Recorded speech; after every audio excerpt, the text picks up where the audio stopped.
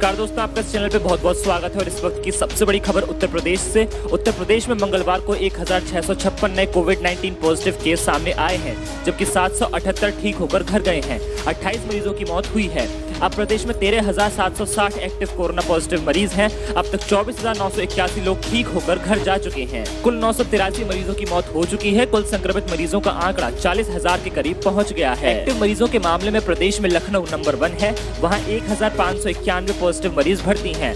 अपर मुख्य सूचना सचिव अवनीश अवस्थी ने बताया कि प्रदेश में अब तक 11 लाख से अधिक नमूनों की जाँच की जा चुकी है। उन्होंने बताया कि पाँच पाँच नमूनों के दो पूल बनाए गए हैं दस दस नमूनों के तीन पूल बनाए गए हैं दस दस के इकहत्तर और पाँच पाँच के तीन पूल पॉजिटिव आए हैं। प्रदेश में सबसे अधिक कोरोना पॉजिटिव एक्टिव मरीज़ राजधानी लखनऊ में है।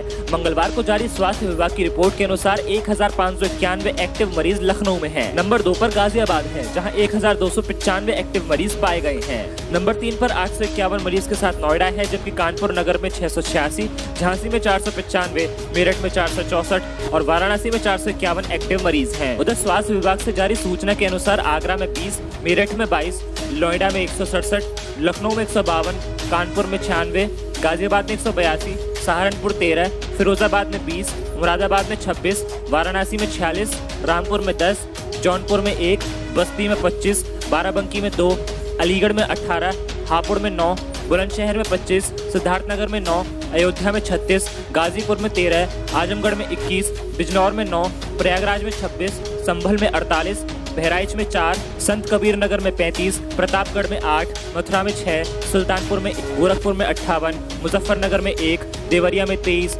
रायबरेली में चार लखीमपुर खीरी में 24, गोंडा में दो अमरोहा में एक अंबेडकर नगर में 1, बरेली में अड़तीस, इटावा में अट्ठारह हरदोई में छब्बीस, महाराजगंज में दस, फतेहपुर में तेरह, कोशाम्बी में पाँच, कन्नौज में ग्यारह, शामली में ग्यारह, बलिया में पैंतालीस, जालौन में एक, सीतापुर में एक, बदायूं में छः भदोई में छः झांसी में एक सौ सैंतीस, चित्रकूट में दो, मैनपुरी में पाँच, मिर्ज़ापुर में छः फरुखाबाद में ग्यारह, उन्नाव में सात, बागपत में सत्रह, एटा में एक, बांदा में एक, हाथरस में छः मऊ में एक, चंदौली में अठारह, कानपुर देहात में दो, शाहजहाँपुर में इक्कीस कासगंज में बारह काशी नगर में बारह, महोबा में बारह, सोनभद्र में नौ, हमीरपुर में चार और ललितपुर में सोलह मरीज़ मिले हैं।